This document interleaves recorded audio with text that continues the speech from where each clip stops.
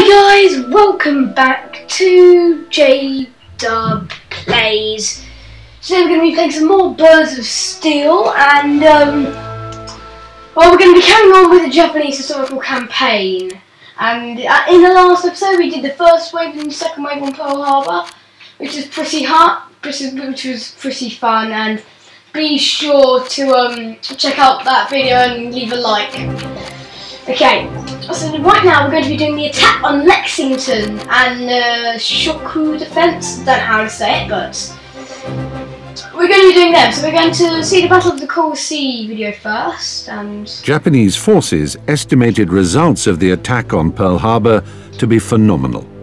They achieved complete surprise, and according to pilots' reports, several ships and a large number of aircraft were destroyed. American forces in the Pacific suffered shattering losses. Several battleships, the pride of both sides' navies, were destroyed. Japan implemented an unprecedentedly bold actually, plan. Six aircraft carriers came almost close to the naval base of the enemy, attacked it suddenly, and achieved complete success in their attack. It was the real triumph though, for the Japanese Navy. Besides success in Pearl Harbor, the Japanese forces managed to occupy a small island of Wake, which was located in the middle of the Pacific Ocean and had a runway defended by a small marine garrison. Though not without losses among warships, the island's defense was overwhelmed and the landing troops freely landed on its territory. In January 1942... Okay, that's boring now like in the last video, I was like on the Attack on Pearl Harbor video, I was like, okay, I'm more now, and then I went on to them, which is pretty funny. Okay, so let's go on to the attack on Lexington. Just putting my headphones on. Okay, we got both of them. Let's go. While Japanese fighters were defending Shokaku and Zuikaku, oh, so Japanese bombers were approaching the Lexington and Yorktown. I know that, yeah, that's cool. Okay. Okay, let's go. See, is smooth. Am I gonna be? Am I gonna be able to um take off here? I hope I am.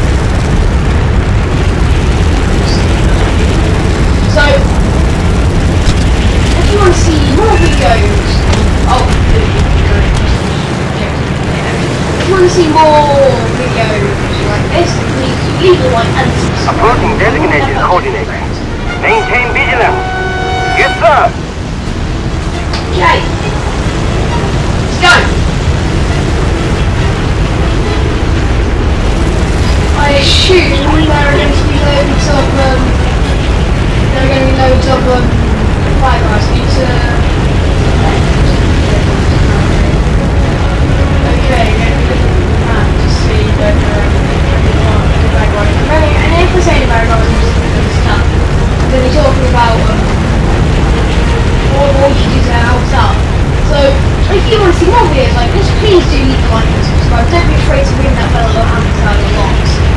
And, um, well, well what was it after me? Me, okay, there are enemies. Echo Rex, is so real.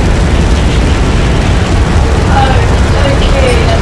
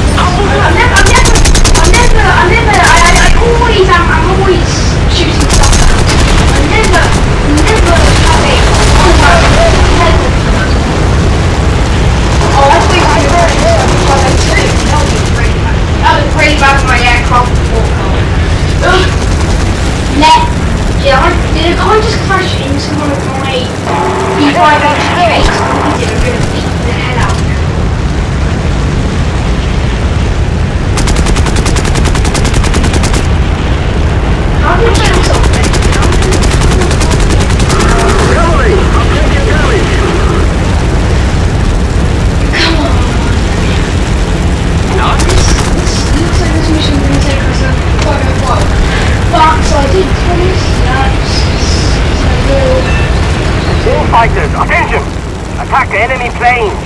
I repeat, attack enemy planes! What do you think I'm Don't doing? let them come near the bombers or torpedo the bombers that are attacking the ships! Roger that! Attack! Attacking enemy fighters? I am attacking- oh no, those fighters. Fine. Okay, it looks like I'm going to go on to this way. To like... Need to destroy two new Oh my god.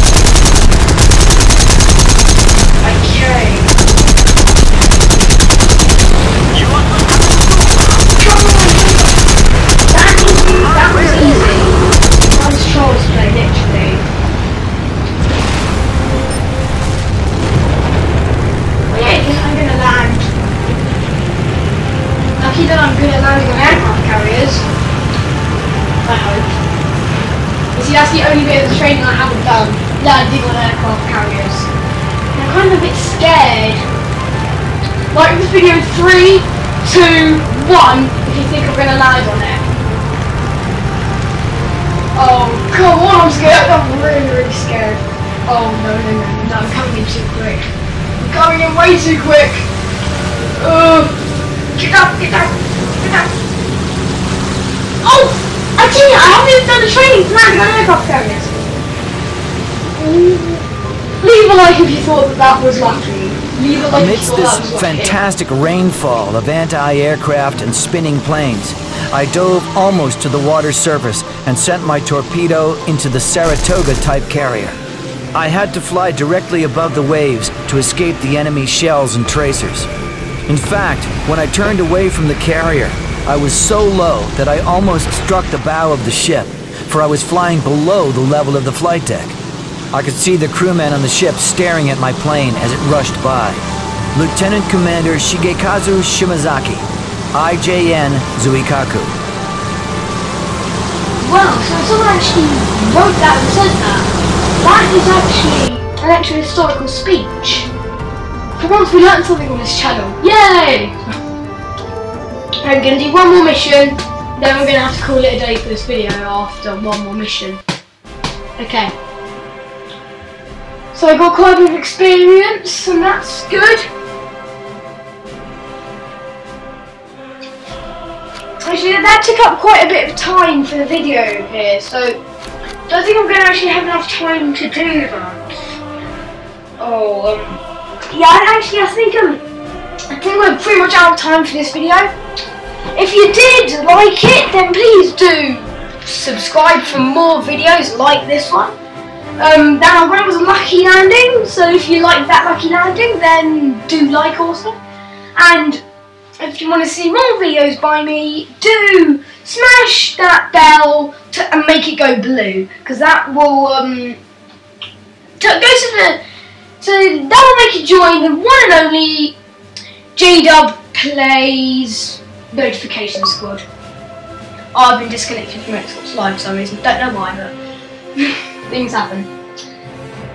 I hope you enjoyed, have fun, and as always, bye for now.